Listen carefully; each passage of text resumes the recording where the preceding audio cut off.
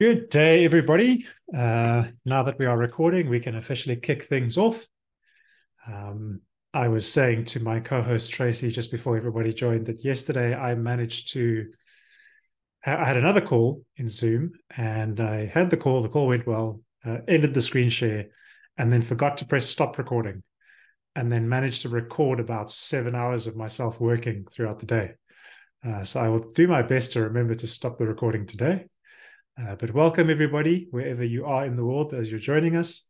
Um, as you join, please let everybody in the chat know where you're joining us from, uh, what part of the world you're joining from. I always like to know where folks are from in the world. It's just interesting to me. Um, and then feel feel free to share a little bit about yourself, uh, where you're from, what you do with WordPress, whether you work with it or use it or extend it. Um, give us give us an idea of where you are and what you do in the chat. Um, while I do my quick introductions, my name is Jonathan.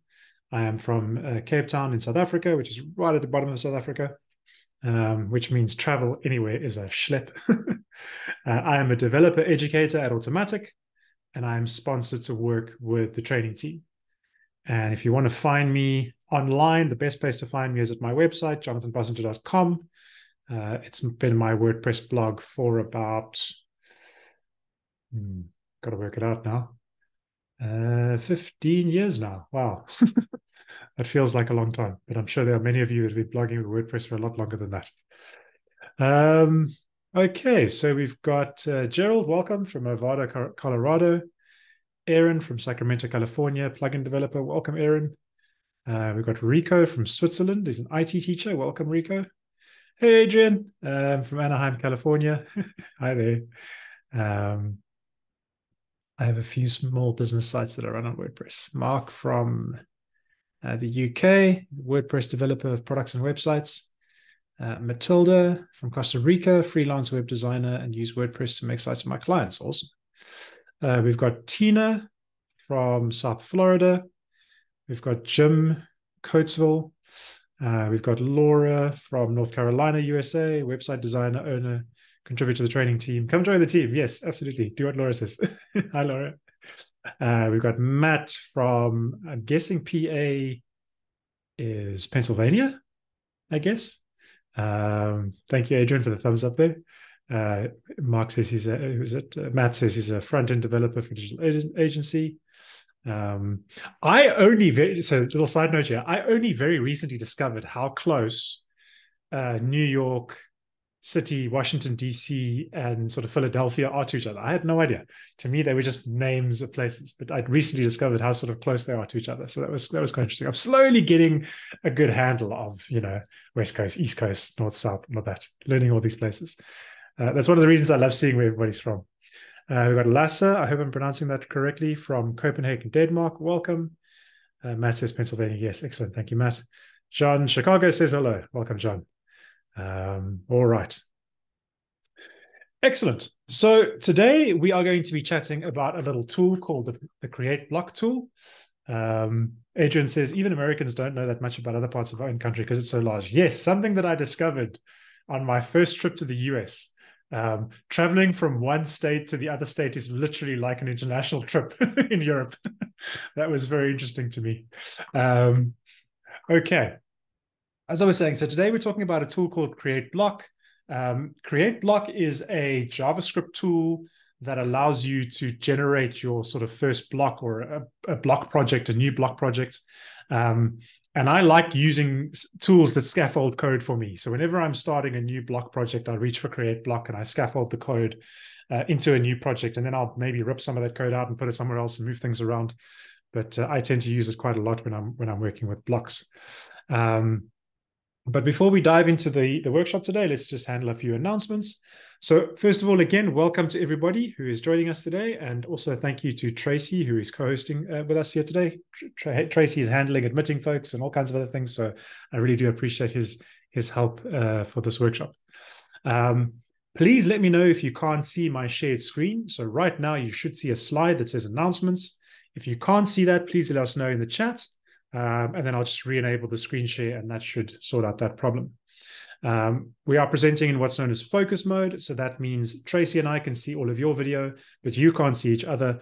This just prevents anybody from Zoom bombing the session and making it awkward for other folks. Um, you are welcome to enable your video if you would like to. You're welcome to disable it as well. I don't mind either way. Um, but it is nice to see folks on screen who who wave like Adrian does, like Jim does. So I thank you and I appreciate that. Um, there is when I first started teaching adults, uh, it was in a in a uh, martial arts class environment, um, and there is nothing more difficult than than the faces of adults after a long day of work, who are who are sitting there while you're teaching, who really don't necessarily want to be there, but they're there because they feel the need to be there. Um, so I do appreciate your your faces and seeing your interactions. Um, so thank you for those that do enable, but as I say, no no requirement from anybody.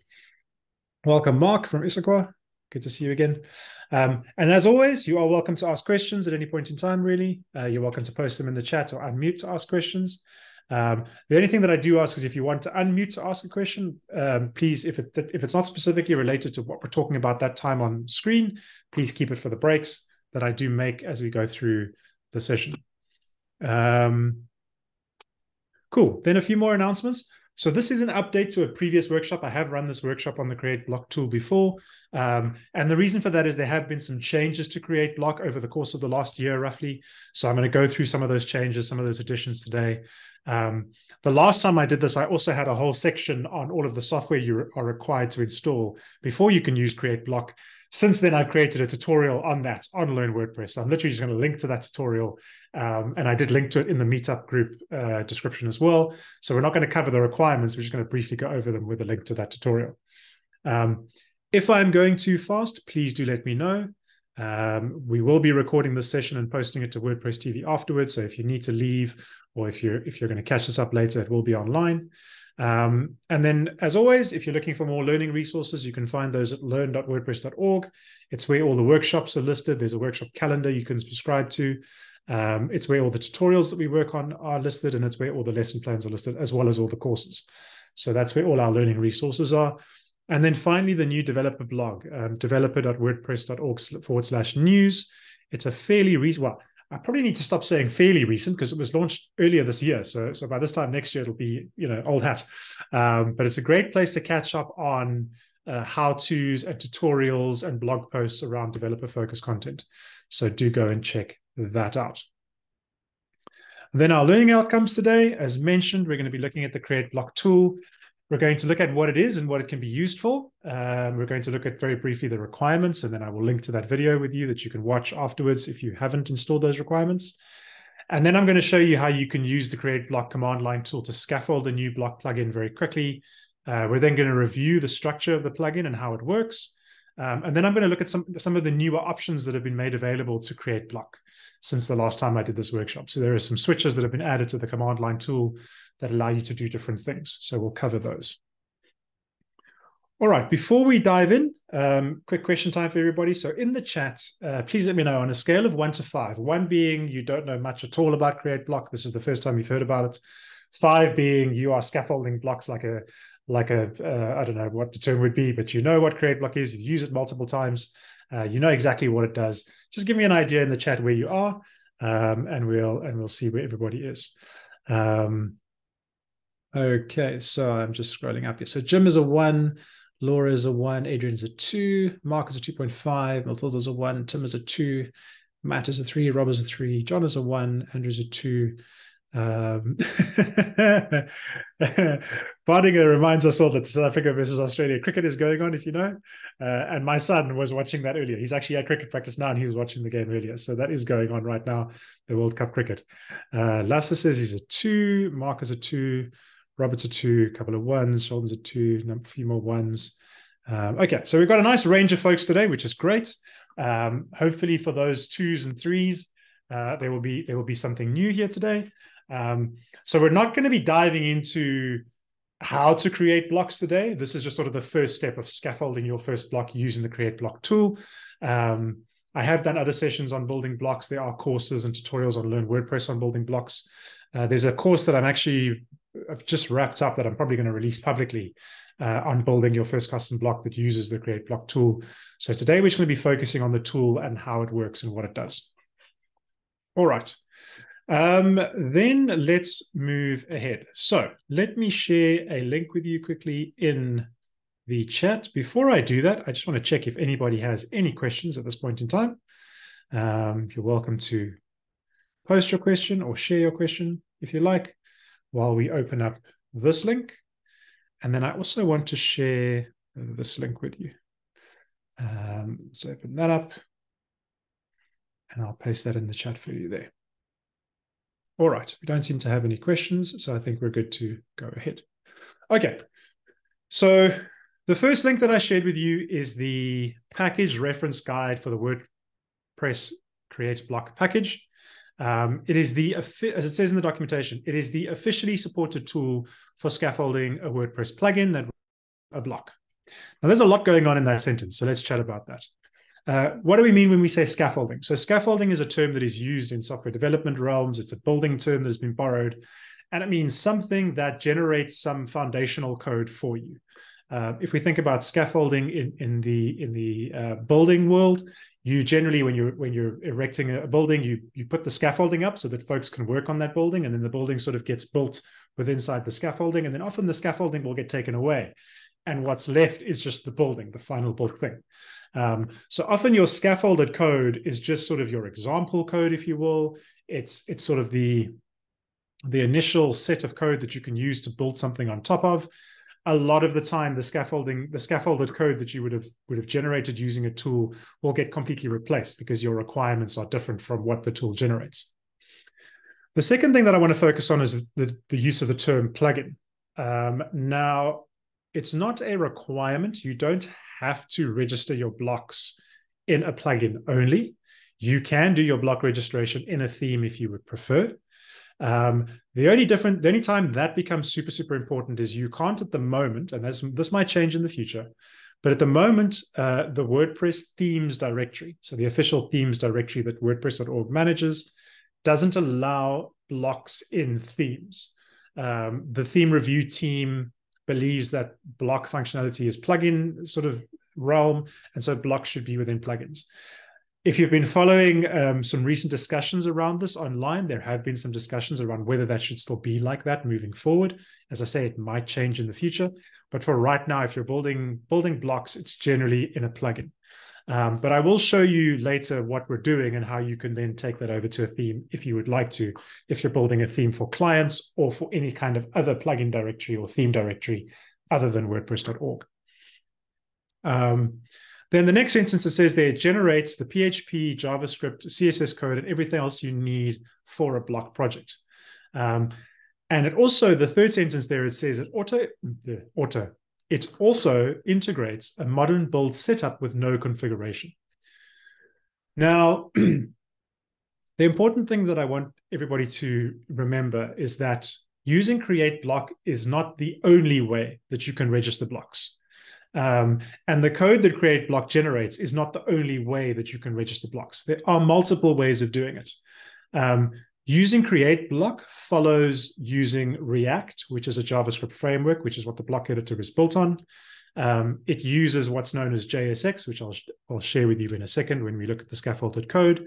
Um, it uses uh, more modern uh, JavaScript, so it uses things it uses things like imports and various other things like that that you may not have seen before if you if you haven't worked with those tools or those frameworks.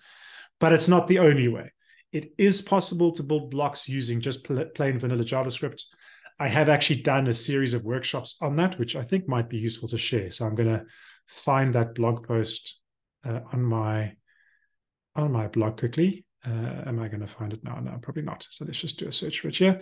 So all of these workshops were hosted on um, on the Learn WordPress meetup group. I just linked to all of them in this blog post.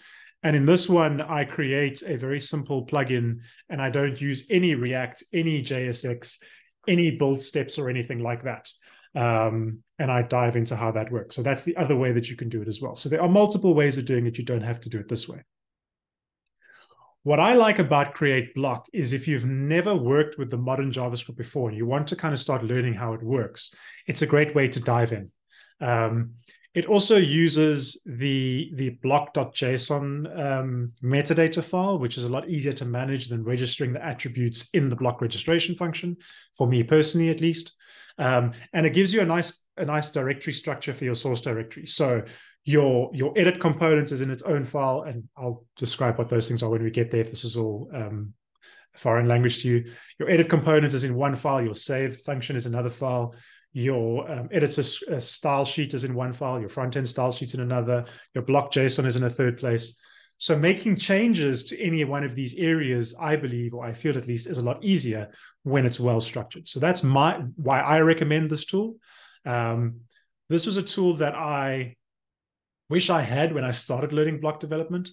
I learned block development by teaching myself React from a course about React, and then taking someone else's block plugin that had similar functionality to what I wanted to build, and sort of reverse engineering that plugin because it was an open source plugin. And there were a lot of things that I did there that were just sort of copied from the other developers' code that I've now realized could have been done better or easier or whatever the case may be. Um, so my recommendation today, when somebody wants to learn block development, is to learn how to use Create Block and then learn how to understand what Create Block is scaffolding and how those things work, and then go from there. All right. Any questions on that before we move on to the requirements, which I will pop up in the in the screen share while I refresh my voice.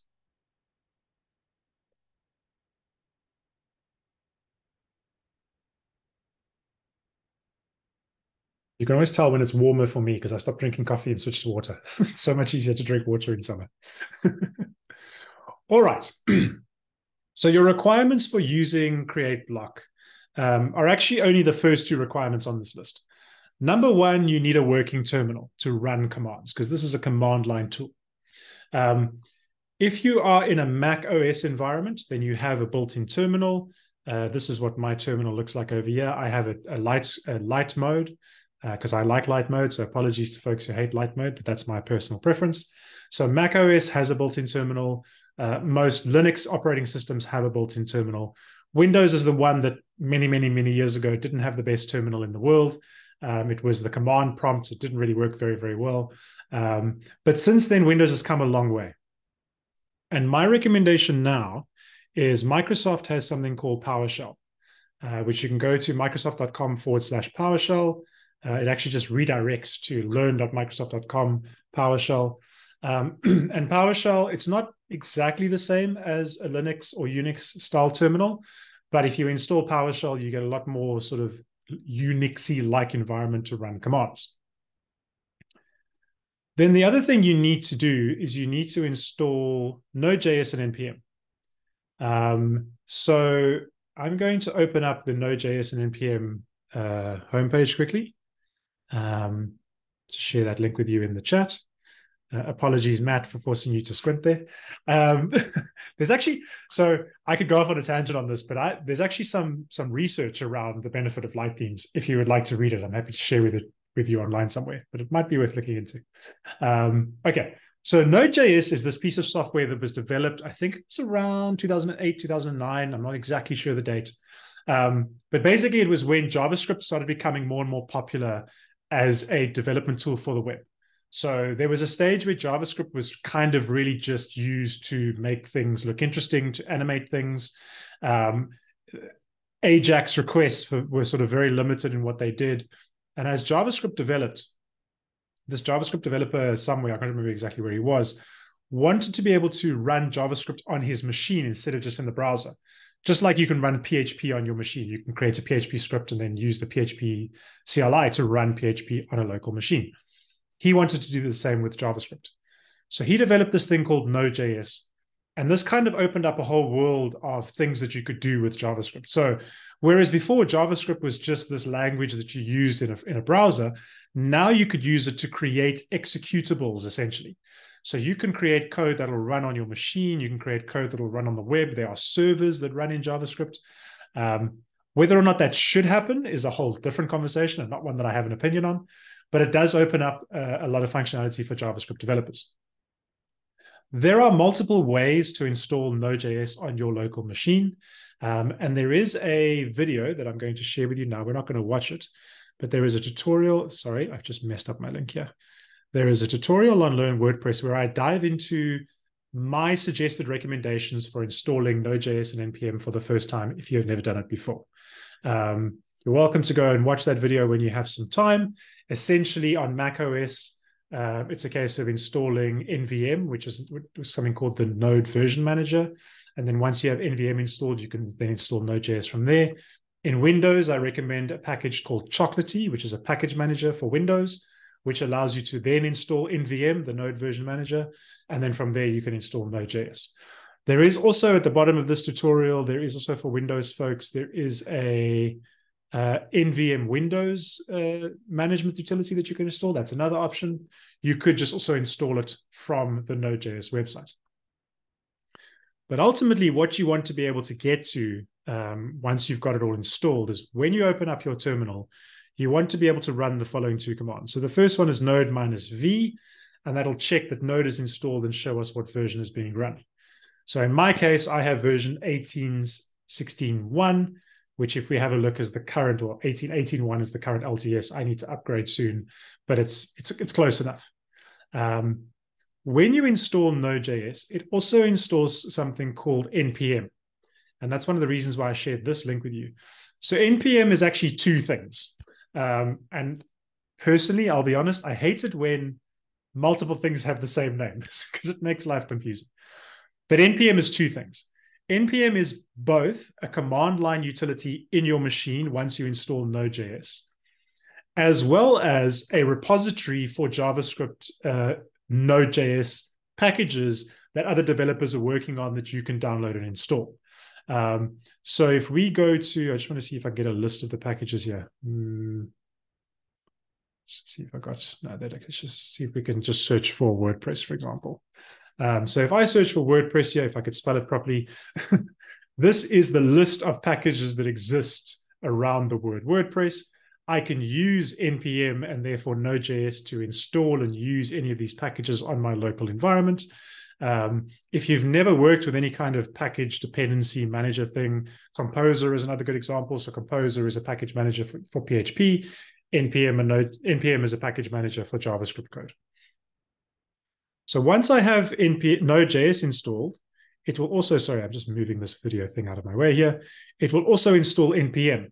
So when I know that Node is installed, I can also run npm minus v, and then that will allow me to check that I have npm installed as well. When I can do those two things, now I'm ready to start using the WordPress Create Block tool.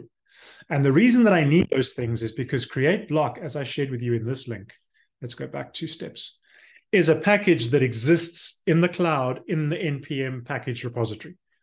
So while the first link that I shared with you is the documentation for npm, this is the actual package uh, homepage, if you will, on the npm package manager.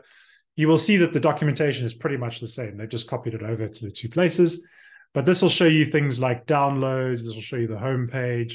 It'll show you how to install the package if you want to install it um, and various other things about the packages. You'll see this is very similar to the plugin homepage for plugins on WordPress.org. So essentially, it's the it's the homepage of where the software lives, and I can then use it. Okay. Any questions on? No problems, James. Any questions on all of that? Any questions on the requirements? Any questions on the, the package manager side of things um, before we dive into how we can use this? I hope your dental appointment wasn't a painful one, James. Mine usually are.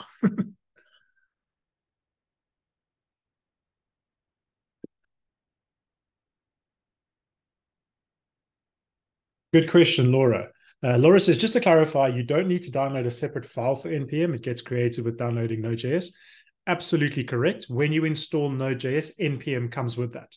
Um, the reason, and that's actually a good question. The reason I have both in the title for this tutorial is because often folks who want to use create block, for example, they will see that they need to they need to use an npm command, and they and they will then think that it's something separate from Node.js. Um, but yes, they do become packaged. So as long as you install Node.js, then that will install npm as well. Uh, to my, to the best of my knowledge, there are no Node.js installations that won't also install npm. It's kind of part of the package. So good question. Thank you for that. Um, James says, "Nope, I love the dental chair. I'm on." I wish, yes, I wish I had a dental chair for my homework setup. Yes, I agree with that one. Those dental chairs are comfy. I want the one that my dentist has with the TV above me. um, okay. Tracy says, does the create block process require specific versions? That's a great question, Tracy. So you will notice in the, and I'm going to be focusing on the WordPress documentation because the NPM documentation for create block is exactly the same. So I'm going to close that one now. Um, and I'll close this blog post. I'll close that and that and that as well. Um, you will notice if you scroll down to the quick start area, um, it says there requires node version 14.00 or above, which therefore will be NPM version 614.4 or above. Um, so that's the minimum sort of base version you need. Um, as you may have seen earlier, Node.js currently is running the, the, what's known as the LTS or the long-term long long-term excuse me long-term support version is currently at version 18. So if you install Node.js brand new clean from now, you will get version 18 or higher, and you don't have to worry about version requirements. Um, if you have already installed a previous version of Node.js, maybe, and I think version 14 was about, I'm going to say four or five years ago was version 14, then you might need to do an update. Um, and Node is actually, as someone who's used both Composer for PHP packages and NPM for JavaScript packages, NPM is actually, I believe, a lot better in warning you when it needs to be updated. And when you run an npm command, like we're going to do in a second, if you aren't running an updated version, it'll actually say, hey, you need to install Node.js and npm, and it'll actually give you the command to do it. Um, so yes, at the moment, version 14 is the minimum requirement, but most folks who install Node.js today will get an updated version. Okay, um, James, just for the first package steps, there is actually a, a full uh, tutorial on Learn WordPress that you can watch. I specifically don't cover it in this workshop, um, but here is the link, so you can go and watch that at your leisure, and that'll give you all the details you'll need. All right. Um, cool. So if we go down to the quick start, and that's where we, I'm glad that Tracy's already taken us there because we're already there on screen. On the quick start page, I'm just going to pop this in the chat as well for those who've joined us later. There is a section, if you scroll down a bit, that says quick start. This is essentially the command you run to create your plugin. So let's dive into what this command does. So you'll see that it says instead of npm, it says npx.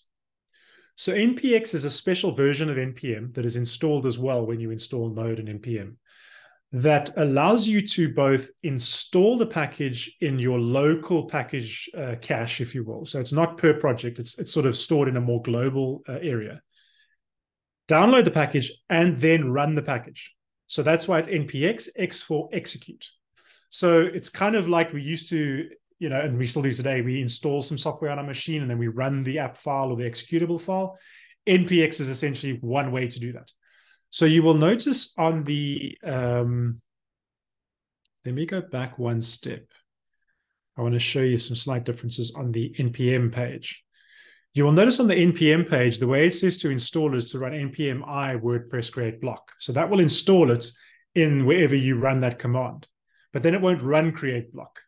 So you could do npm minus i WordPress create block, and then you could call run create block separately, or you can just do the one command, which is the npx command. And that's the recommended easiest way to do it. The nice thing about this command is you'll notice it also has this at latest appended on the end.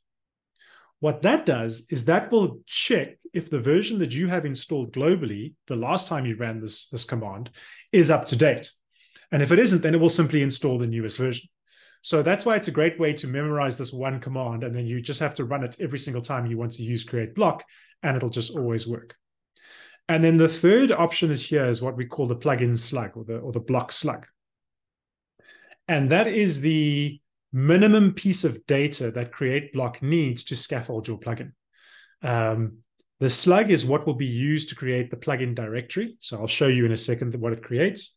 It'll also be used to create, to give the block a name um, and various other things that it needs. And the rest, it will accept defaults for all of those options that it has. Some of the options we'll dive into later. I'll show you how you can customize it for yourself if you want to. Um, but for now, this is the easiest way to do it. So I'm going to copy out this command. I'm going to open up my terminal and I'm going to change directory or CD, and CD should work across uh, all operating systems. CD is a common uh, command for changing directory. And I'm going to go to my local WordPress um, environment, which is not that one. It's that one. I have my environment set up in that directory, WP local env. I have a sites folder, and then my site that I'm going to work on is called LearnPress. You would obviously change that to whatever your local site environment is. So when I change into that site, there's a command you can run called ls minus lih in Unix environments. So I think it's dir slash w in Windows environments. And you will then get a list of all the files sitting there. So here you'll see is my WP content folder, uh, my, my WP config should be here somewhere, there it is, uh, and all of those WordPress files. Then I'm going to want to change directory to my plugins directory. So that is simply cd WP content and then plugins. You, I could have just gone local env sites learn press WP content plugins if I wanted to. That's another option, but I like to kind of break it down in steps. So this is my plugin directory. And you will see that I have some plugins that I've installed. FakerPress, my reading list, which is a project that I'm working on, SQL Buddy, which you've probably seen me install in previous workshops, and then other plugins we've worked on. And so to clarify and to verify that that is the same, here is my LearnPress inside of my Visual Code Studio. I'm just going to make this a little bit bigger. Uh, there is my content, there is my plugins, and there's all the same files. So create block theme, FakerPress, so we know we're in the right place. And then I'm just going to use the clear command so that everything's nice and clean again. Now we can run the npx at WordPress slash create hyphen block at latest and then give it the slug. Um, what I like to do, I'm trying to paste that in the chat. What I like to do for these workshops is I like to uh, prefix my slug, slug with a WP hyphen, just because that's something I do, and then the word learn. So that just gives it some uniqueness. So let's see what this is going to now generate. While that's working, I'm going to ask, answer James's question. So James says, sorry, just checking, are you using WPCLI commands tools? No, James. Uh, I'm glad you asked that question. So this is specifically Node.js and NPM command line tools. Um, if you if you watch the beginning of this recording, I do dive into that and what Node.js and NPM is. And then also if you go watch that tutorial, I dive into that as well. But this is this is unrelated to WPCLI. Um, there was some talk, I think, of actually creating a WPCLI command that would run the npx WordPress create block command. I don't know if it actually ended up becoming a thing yet. Uh, it would be cool if it did, because then folks that are comfortable with WP CLI would be able to use that. Um, but at the moment, this is purely just using npm, Node.js, um, and all that. Right. Mark has a good question. To confirm, you should always run this in a WordPress environment plugin folder. And the answer to that is, Mark, no, you don't have to run it in a plugin folder. It's going to create a plugin folder for you, which you can then copy into any WordPress install you want to. But there's nothing stopping you from running it anywhere else. Um, I used to, many, many moons ago, I used to have a single WordPress install, and then I used to have a separate development directory. That and, and it's the reason I had a separate development directory is because I used to be working on a plugin and a Laravel app at the same time, and I wanted them in the same place. So I had the plugin and the Laravel app sitting in the development directory, and then I would symlink the plugin from the plugin in sorry from the development directory to my WP content directory for my WordPress site. Um, so that was one way to do it. So no, you don't have to uh, run this inside your plugins directory. If you want to see it working, it's just easier if you do, because uh, then it's inside your plugins directory. You can just activate it and you can use it because what it's generating is a plugin. Um, James says, I was about to say it'd be nice to have that merged in WPCLI. Yes, I I seem to recall a conversation around it at some point, um, but I can't remember whether it did have actually actually happen or not. I think maybe the reason it didn't happen is because you would need to have npm and node.js installed. So just having it as a plug a WP CLI command means that that command would have to install that software, and that adds some complexity. Um, but that that might be a reason why it hasn't happened yet. Okay. Um, so as you can see, this is doing some work while I'm chatting, and that's why I'm so glad that folks ask questions because it takes a while sometimes for this to happen. But you'll see the first thing it does is creates the new WordPress plugin in the let's okay, it's finished now, but let's scroll up. Um, it creates the new WordPress plugin in the in the directory for us, the WP Learn to Do list, which is the one we we sent it there. Um, it creates the block.json file, it creates the package.json file. Then it installs what's known as the WordPress scripts package, which I'll just uh, chat to you about in a second. It then does some formatting of JavaScript files, and then it compiles the block code. Then it says done. WordPress plugin WP Learn to Do is bootstrapped in the WP Learn to Do list directory. And then it tells you there are certain commands you can actually run. Uh, so you can run npm start, run build, run format, and various other things you can do. I'm not going to dive into those too much today. Um, to enter the directory, you type in cd WP Learn to Do list. And to start development, you run npm start. Don't worry too much about that right now. Let's first have a look at what this created for us. So in my plugin, I now have here WP Learn to-do list. That was just created. This one I created the other day. Um, but you'll see I specifically named it uh, WP Learn to-do list for our purposes. Inside of WP do, to Learn to-do list, we have the following. We have a build directory. We have a node modules directory. We have a source or SRC or source directory. Then there's an editor config and git ignore, which we'll chat about in a second a package JSON and a package lock.json, a readme.txt, and a PHP file. In this case, WP learn to do list.php. So let's go into the comfortable areas first, the PHP file. If you are a plugin developer, this code will look very, very familiar. I'm going to make it a little bit bigger so that it's a little bit more visible on screen. Oh, wait, not uh, scroll plus. There we go. Um, so this is a standard WordPress plugin. It has the plugin header at the top with the plugin name, description, the requires at least number, requires PHP, version, author. If you've worked on plugins in the past, you've seen this before. Then the second bit of code is also very familiar. It hooks into the init action hook. So using the add action function, registers the create block WP learn to do list block init callback. And then inside of that callback, it calls the W the register block type function passes in the dir constant, which means the current directory, um, and it concatenates that with the, the, the path to the build directory. So that is this directory over there, the build directory. What register block type does is it, it, it receives a set of information about your block and essentially tells WordPress, hey there, here is a new block that you need to be aware of. Here is all the code for it, but you just need to, when you load the editor, make sure you load this block. So let's go and have a look and see what's inside the build directory. Now, the great thing about create block is when it runs the first time, it automatically runs what's known as the build process and generates the code in the build directory. This is the code in a modern JavaScript environment that is what, what runs when the editor loads. So there you will see there is a block.json file. This file is your block metadata.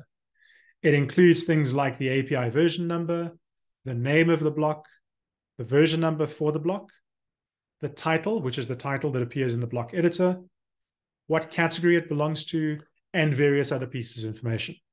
Um, I'm going to share some documentation with you so you can go read up more about what that all does. Um, if we go to the block editor, that's a good place to start. And then if we search for metadata, there we go. So that will give you all the information you need about what the metadata does and how it works. Then we'll notice that it also has these properties at the bottom here. It has an editor script file, editor style, style, and view script. Editor script is the main JavaScript file that powers the block.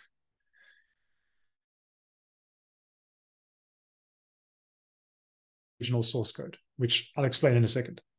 But basically, when the block editor runs and this block is loaded in the editor, this is the JavaScript code that runs. I'm going to format it a little bit better for our purposes so we can see what it's doing. Um, actually, it's not, it's, yeah, it's not going to format because of the fact that it's transpiled. Um, but basically, this is the core functionality for the plugin. Then there is the editor style file. And this one is pointing to the index.css file. So let's open up that. And this is very familiar. So this is CSS that's being applied to this class, the WP block create block WP learn to do list, recognize the name. And it's applying some CSS for us. So this was scaffolded by the plugin. All it does is put a red border around the block. Then the next one is the style file, which is the style-index.css. This is this one over here. That does some slightly different styling, um, but it's applying it to the same class. So to understand what these two files do, the index.css is what loads in both the editor and on the front end. So when this block loads, when this block is either loaded in the editor or when it's rendered on the front, front end, the CSS loads. The style-index.css only loads on the front end. So if you have a situation where you want specific functionality to only look a certain way in the editor and you want it to look differently in the front end, then you would use the style hyphen index to style the front end. The only time I've ever used this was one of the first plugins that I developed was a episode selector plugin for the podcasting plugin I was working for. Sorry, episode selector block. And what we wanted users to do when they added the block to the editor, it showed a drop down of all the episodes in their podcast. They clicked on the drop down and then they selected from the drop down the episode. Once they selected the episode, the block refreshed and actually rendered that episode player in the editor. So the, the final render of the episode player needs to look the same back end and front end. But the drop down only exists in the editor because you're not going to show the drop down to any users on the front end.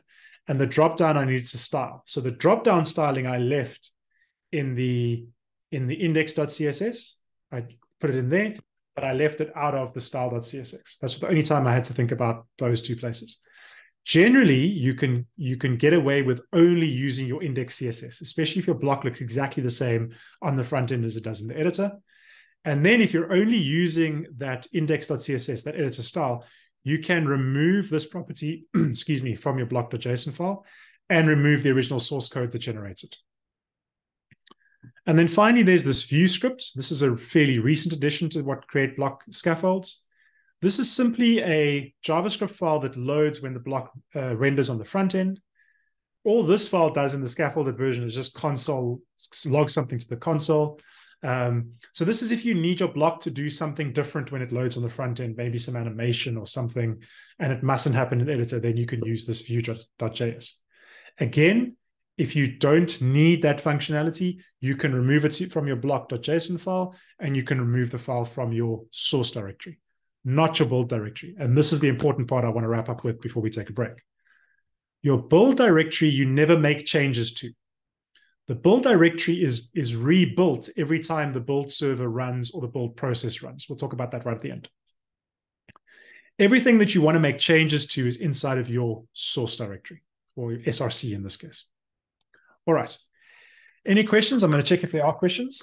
Um, index.css and style.index.css seem badly named to me. I wonder why they are named like that. Honestly, it's really just what the block scaffolds. You can call it anything you want to. Um, as long as you have set up the style property to point to that file, it'll work. Um, and I'll show you. Um, I actually no, I think I'm talking. Yeah, I'll show you in the in the in the in the source directory in a second how it works. But essentially, as far as I know, this is kind of a um, it's either a WordPress or a Webpack related thing. It automatically builds those files. Um, so it's kind of a, a, a, formalized version of it. But in your source code version, you can call it whatever you want. And I'll show you that in a second. All right. Before we move on to source, let's talk about node modules. Node modules is where all the dependencies for your project exist. So when I talk about dependencies, what we mean is for a JavaScript project that is using a framework like React, it uses other bits and pieces of software that other developers have wrote, wrote, written, written, um, that perform certain functionality. A good example of that is um, if you're building a PHP plugin or a PHP something, you might want to be able to do like a, a REST API request. You might want to use some code that already exists elsewhere. You can include it as a dependency and you can use it. So because React is built around this, this sort of framework of relying on other dependencies, the node modules is where all those dependencies sit. Node modules, you never package with your final block plugin. Uh, you, it's only a development tool. Um, and so when we dive into the gitignore file in a second, you'll see it's actually excluded from the gitignore. Node modules is another thing you never make changes to. And if you ever have problems with your dependencies, the easiest way to fix them generally is to nuke your node modules and then run npm install inside the project again and let it reinstall all those dependencies. Okay. So while we're talking about dependencies, let's dive ahead quickly to the package.json file. The package.json file is an npm thing. And it basically is the file that manages the project, not the block itself, but specifically the, the project. And you will see we have one dependency, and that's this WordPress scripts dependency. So WordPress scripts is what is being depended on to work in this project. Um, and it is it is installed inside this node modules directory. And WordPress scripts then depends on all of these other things that are inside of node modules. So that's why it tends to get very big. But in the terms of a block plugin, the only one that you have to use to get a basic block plugin to work is WordPress scripts. The other important part to understand is the scripts um, property here. You will see it has build, format, lint, lint, package update, plugin zip, and start. These match up to the commands that were mentioned in the front here. Um, and this is how when you're working on building blocks, and I'll show you a live version how I'm going to make a change to the block and how we build the server to be able to make your final build code. Okay. Uh, I see your question about GraphQL. I'll get to that in a second. Um, okay. Then finally, let's talk about your source directory. So this is where you'll actually do your work. So let's close all of this down and let's look at what's in the source directory. So while this register, register the block type on the build, the source is where you do your work. And inside, and it's actually the SRC directory, but I call it source because it's short for source. Inside the source directory, you have, again, the block.json. Um, and you'll see that these are all the same as what we saw in the one in the build directory. When the build step runs, the block.json file is copied as is over to the build directory. Nothing changes to it. So that's why we need to set these up like this. But what happens in the source directory, so let's talk about the style.index, for example. In the source directory, it's configured to the style.scss file. Uh, you'll see this is not determined anywhere in here. We don't see style.scss anywhere here, but that is the file, and there it is. There is the CSS, the original CSS, uh, and there is the original background color, color, and padding. If you've never seen an SCSS file before, it's, it's what's known as a, as a syntactically awesome style sheet file. Uh, it's something that was originated a number of years ago as sort of an advanced level of CSS it allowed a lot of things that CSS then couldn't allow, like nested CSS and CSS variables and all kinds of other things. But uh, syntactic, syntactically awesome style sheets also support regular CSS. So if you're used to just regular old vanilla CSS, you can write that in here as well, and it'll work. So that's the one for the front end. The one that renders in the back end is the editor.scss. So here it's a bit more, Mark, as you can see, it's a bit more uh, uh, logically named for where it works. So the editor SCSS is for the editor, and the style is for the front end. Um, and as I say, I think this naming here is either based on the way React does things or the way npm uh, Webpack does things. Webpack is what runs underneath to the build server. I'm not sure 100% which. But in your source, this is what they're called. In your source, you also have an index.js file, your main index file. And this is where the, the original sort of block code starts working. So you'll see here, we import the style.css. So that's our front end style uh, sorry, the, the front and back, sorry. We import the edit component from the edit file, which is this one over here. We import the save function from the save file, which is this one over here. And then it says every block starts by registering a new block type definition. And you'll see this function here, register block type, is very similar to the PHP one we saw earlier, but it does two different things. As I mentioned, the PHP one says, hey, WordPress editor, here is some block code for a block. Use it. That's all it does. This one now actually registers this block. So when the editor loads, the PHP runs, hey, here's a block. Editor goes, cool, I see where your block code is, but now I want to register the block in the editor. And that's where this register block type uh, function is called. You'll see that we import the metadata from the block.json file. So that imports all of those, that JSON object into the metadata variable. And then we use the metadata name to register the block type. And then the block type has certain properties as well. The two primary ones you need to worry about are the edit property, which is what happens, guess where, in the editor. And then the save property, which is what happens when the block saves its output. So let's go and have a look inside the edit.js. Inside the edit.js, this is all the functionality that happens in the block editor. So it does some more imports. This is kind of diving into how the block editor works. It imports the editor.scss file. And then here, this is the key part. This is the function that that does whatever this block does in the editor. So in this case, it just says WP learn to do list hello from the editor. Uh, it has some use block props going on and, and, and whatever else. It's got these paragraph tags. And so if I activate this plugin in my WordPress instance, which I'll do once we've gone through everything, then I will see that in the editor. Then in the save.js, it also imports some packages from my dependencies, and then it runs a similar set of code to the editor, this case, it just runs the hello to-do list from the saved content. So what I would like to do now is I'd like to make two small changes to the edits and the save. inside of the edit function, and those of you who have used JavaScript will probably recognize the use of console.log. Um, I'm just going to console log edit. Why is it not auto-completing? There we go. So that you can see every time the edit runs. So you'll know if I open up developer tools and I load the, the block plugin, sorry, the block into my editor, we should see this code run. Then in my save.js, I'm going to do exactly the same thing. I'm going to say console log save.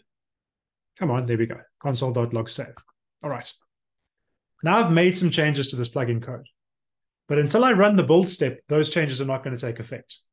I want to show you, however, how the plugin looks currently and why it works currently before we make these changes. So let's load it up in a WordPress instance. So if I go over to my local WordPress site um, and I log in, which I probably should have done before we started. and I go to my plugin directories, my plugin list, should I say, and let's go and find there's to-do list, WP Learn to-do list. There we go. Let's activate that. And at the same time, I'm going to open up um, my developer tools so we can see what's happening in the console.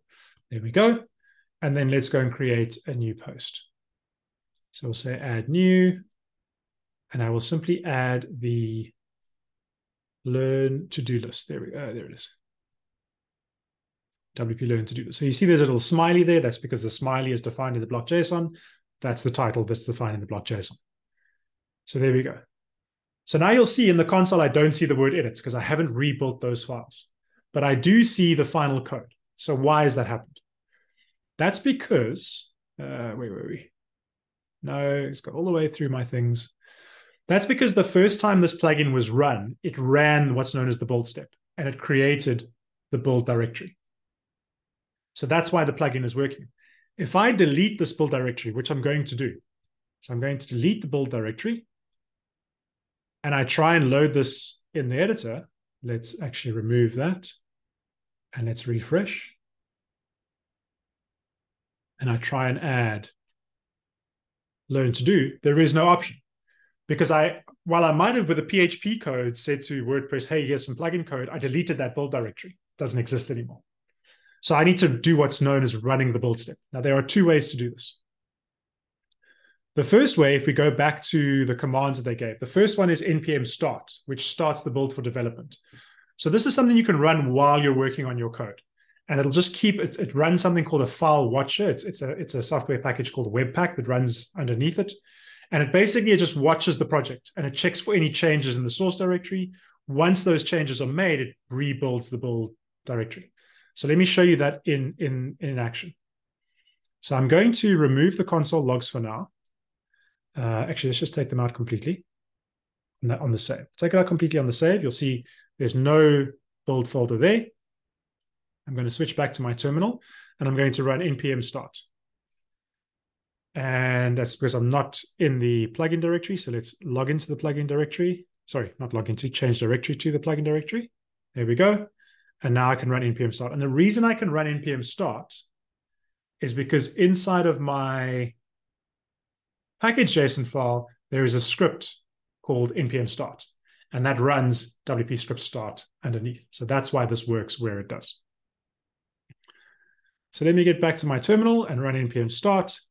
So it runs and it checks and it sees the index and it builds and it sees the view and it does all the thing it needs to do. And then it says compiled successfully, and then it waits.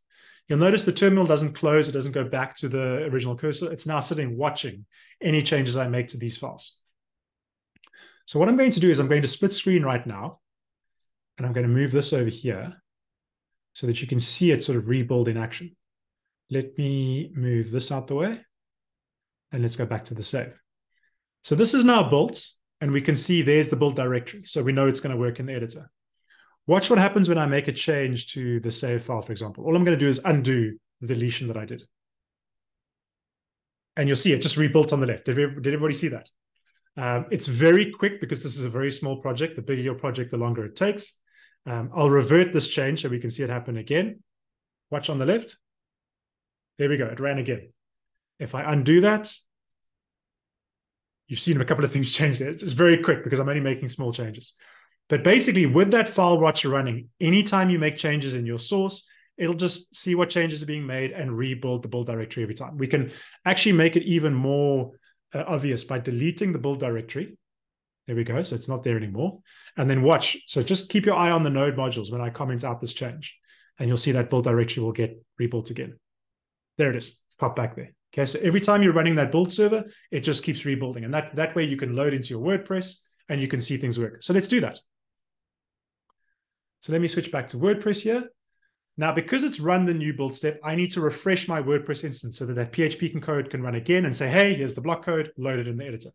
It's one of the downsides about building blocks in WordPress. If you were working in a, in a standard React environment, you wouldn't have to reload the page. It would just automatically reload. But for WordPress, we need to. So I refresh the page. Uh, and now I should be able to, let me just, I don't need the autosave. Now I should be able to add learn to do this. There it is. And now we should see saves and edits on the in the console because I've added that code. There we go. Notice that the save runs before the edits. And then you see the save runs again. So the first time a block loads, it loads the save function. The reason it does that is it checks if this block was saved previously. If it was, what was the data that was saved in this post? What is the current data being output by the save function? And it compares the two. I'll show you what that looks like in a second. Then it runs the edit to show the edits in the in the editor, and then it runs save again to save the new data to the database. So that's what that does there. Um, and now if I preview this, I will also have this on my front end. Hello from the saved content. And there we go. Um, you'll notice that the styling is not working right now. Sometimes what happens, and I've seen this every now and then, is that the uh, build process realizes that you're only making changes to the JavaScript code, and so it doesn't rebuild the CSS. And because I deleted the build directory, it just rebuilt the JavaScript code. So let me show you that very quickly. If we open up the build, you'll see there's no CSS files there because it knows what was built the last time. And what did I do? I deleted the directory in between that build process. So you should, I mean, you shouldn't do, as I said, you shouldn't be making changes to your build. But there's an easy way to fix this. And that is with the what's known as, let me go back to my package JSON. Uh, oh, wait, we've got it over here. So we can make this big now. That is using the build script. So the build script does everything that the start script does, but it does it once and it builds everything once off. So npm build is what you run when you finish development and you now want to build your, your final version of the project. Npm start is what you want to run when you're busy in development and you're making changes and you wanted to just build the changes the, the changes to the files that you make changes to. Sorry that's too many changes in that sentence. Um, so to switch to the build server i'm just going to hit control c on my keyboard. That'll take me back to the project folder. And then i run npm run build. Actually let's uh, clear this out npm run build and that will now build everything JavaScript, CSS, all of it. If we go back to our build directory, we will see that there are all the files. There's the CSS files and everything else we need. And if we hop on over to our WordPress environment, let us remove the block. Let's refresh the page. As I said, whenever you're working with blocks, this is what you have to do. There it is. The styling is working.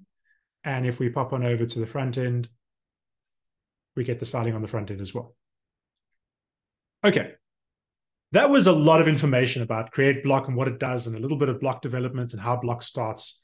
Um, that is basically the structure that create block sets up. Um, as i said to you what i like about it is in the source directory um, the file names as mark's mark noticed the file names, names just make so much more sense. If i'm working in the editor i'm working inside the edit.js file because that's in the edit function if i'm working with the save i'm working in the save file if i'm working with the style that's on both. I'm working in the style.css. Uh, if I'm working with just the styles that get applied to the editor, I'm working inside of there.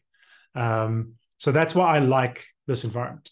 And as I mentioned, if I didn't want to use, so right now it's building the view.js. If we have a look at the build directory, you'll see there's the, the view.js. If I don't need the view.js, I can just delete that file. And then inside of my block.json, delete the fact that it's referring to that file. And then make sure I delete the last comma and then if I run my build step again, or if I'm in development mode and I run the build step, then it'll actually go and it'll ignore that file on the next build. And then you'll see no view.js was created. So it manages the build step for me. I don't have to think about it. I just focus on my source directory and making my changes there. Um, and off I go developing blocks. Okay, cool. Thank you, Mark. I appreciate that. It does. What I do know is that when you first get into block development, if you're still sort of figuring out how everything works, this is a lot of information to kind of take in on the first go. Um, but I do recommend using this to scaffold block plugins and start playing with what they do. The other thing I like about Create Block is you'll notice that the developer who created this has got documentation and links to documentation for every single piece of code, effectively. Um, so it's a great way to go and learn about what that piece of code does. Uh, you know, the first one is importing the the internationalization function. The second one is importing something called use block props, which does a whole bunch of things. Um, so that's another reason why I love this this package because the code that it generates I can learn from as well. It's a great learning tool about how block development works. All right. Um, Matt says, Matt says, does the tool need to be run each time or can you borrow code from previously built blocks? Uh, yes, you can borrow code from previously built blocks. Absolutely. Um, there is no there is no sort of hard and fast rule. You don't have to you know use create block to create a new block plugin every time. Um, you can certainly copy code from other blocks once you've got them going. The core things that you will need, well, you will need to set up the package.json file because that includes the dependencies and all the build steps and all the build scripts. Um, you will need to create the source directory with the block JSON and the different files in there and how that's all worked out. Uh, and that's kind of the core of what you need. Um, so as long as you've got those things, you you should be good to go. Um, says, how do you go about CSS caching here? Um, that is a good question, one which I do not have an answer to. There probably is a way to do it. Um, I think I stand corrected, but I think that um, you would cache the individual files because I don't think I think this is just enqueue. So to kind of understand this, the the JS and the CSS and all of that is enqueued in the normal WordPress way underneath the hood using WP enqueue and all of that. Um, so any kind of caching that you would do in using those functionalities, you could do over here. Um, I don't know myself. I've never implemented a site where I've needed to cache um, the block CSS or the block JavaScript, but I'm sure it should be possible. That's actually a good topic, maybe for one day for the future for another another uh, workshop. Uh, so thank you for that idea. I'll definitely dive into that. Um, what runs the enqueue functions? So because you are using let me show you here. Because you are using register block type, uh, let's actually see if we can dive into that code. It uses the block registry, which registers the block type, which then does everything under the hood. Yes, you've you've already answered your own question there, Mark. Um, so so yes, it basically is all of that is handled for you under the hood.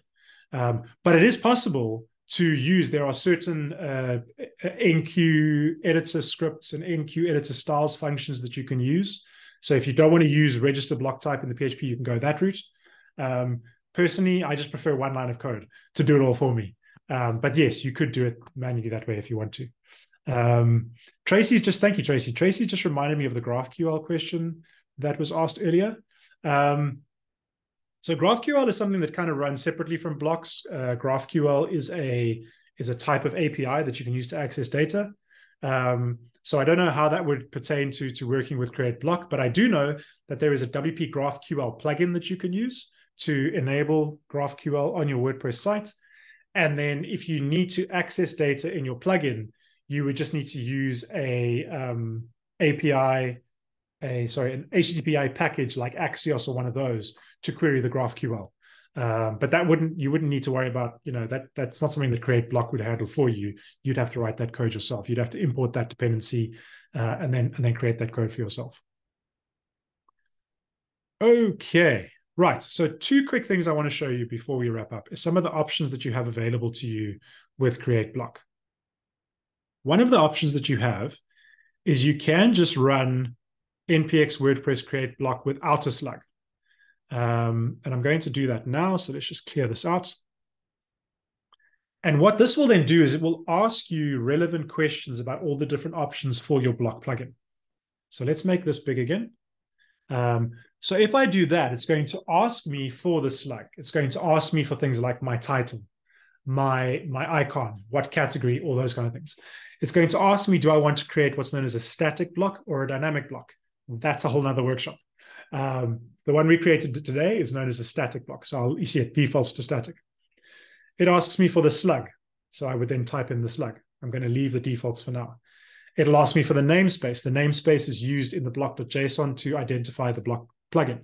And so this will basically is what is what's called the interactive mode. It'll ask you the questions that it defaults by itself when you just pass it a slug in our earlier example. Uh, the short description, the dash icon, the category that it should belong to. I like the fact that you can uh, use your arrow keys to choose the category it belongs to. So that's when it's being selected in the block editor. Um, then it says, do you want to customize your plugin? So there you can do things like your plugin URL, your plugin version number, uh, the name of the author. Uh, so instead of having to go and manually make those changes afterwards, you can do this in interactive mode. So this is if you want a little bit more control over what gets generated. Um, if you're that if you're that kind of person, I'm the kind of person I like the single command, and then once it's generated the code, then I will go into, for example, my plugin header and make the changes there. But other folks prefer to be able to make those changes right now up front. And this is what gives you that option. So you can go through and you can do all of those things. And then it again goes through the process and will create it for you. Uh, and I'm glad to see that folks are enjoying that option because it is a really good option if you prefer that. I'm going to shut that down now very quickly. So that's interactive mode. You'll see interactive mode is at the bottom. It just says when no slug is provided. So you just run npx at WordPress slash create block at latest with no slug and it'll switch to interactive mode. You can also specify the slug, which we've shared. And then there are some additional options at the bottom. So you can do things like output a version number. There's an option where you can say no plugin. So you don't want the plugin to be created. You just want the source directory essentially. And this is perfect if you're building it for a theme. So let me show you what that does. So let's go uh, WP. Let's go back a step here. Uh, and I'm going to say WP learn no plugin and give it the no plugin option. And it'll then, and you see this is much quicker because it doesn't need to create the plugin file and all those kind of things. And if you go into the code editor, let's go and find WP Learn No plugin. Uh, I can't see it. Did it. Where did I do that? Oh, I'm, in, I'm inside WP Learn to-do list. That's why. Sorry, folks. I should have gone up a level. Um, so let's go back. There's WP Learn to-do list. And then there's WP Learn No plugin. So you'll see all that creates is the block JSON, the edits, all of the source code is then sitting in that location. And you can then create your own package.json and configure it to work with that if you're working in a theme environment or if you want to do multiple blocks. That's a great way to do that. Um, so that's one of the other options that I wanted to share. And then and then there are multiple other options. You can specify the title and short description and category up front. Uh, you can enable or disable WP scripts usage. Uh, you can enable WP env. So if you don't have a local WordPress environment and you just want to quickly build a plugin, you can use the dash dash WP env, which will use a, WordPress, a local WordPress environment called WP env, and then build your plugin and then load that WP env to start testing. I've never done that before, but that's an option as well. Um, okay, so those are some of the options available. We could we could talk about this for days on end. I just wanted to share this with you. Um, if you are wanting to get into block development, if you have never uh, worked on any kind of block plugins or block development before, I highly recommend using Create Block to scaffold your first few block plugins. Um, I use it even today when I'm so I'm gonna I don't mind sharing this. Um, I am taking part in something called Hacktoberfest at the moment, which is this worldwide open source thing where folks try and contribute to open source projects. And I tweeted a couple of days ago so that I'm looking for sort of WordPress projects that are looking to add blocks to their to their code. And Joost de Valk from from Yoast, I'm sure all of you know Yoast SEO. He's no longer there anymore. He is busy working on a plugin that does something, and he doesn't have a block for it yet. And so he reached out to me and said, "Do you have time to do this?" And so to work on this, the first thing I'm going to do is I'm going to scaffold a block using Create Block. I'm going to build it the way I want to. And then I will simply port that code. I will copy that code into this repository in exactly the same way that I needed to, um, because I just find that to be a better way to do things for my personal style. Um, so Create Block is a great tool if you're learning, if you're still developing every day. Um, it just what's nice about it is it kind of forces me into a very structured way of doing things and working with things which I like. Um, structure is good for me because if I if I'm allowed not structure, then I go off all over the place. Um, and so that is why I personally prefer to use Create Block. All right. That is my bit for today. Does anybody have any questions on all of that? Anything else they want to comment or add? Um, please let me know now. Uh, otherwise, I'm going to sip of water and call it a day.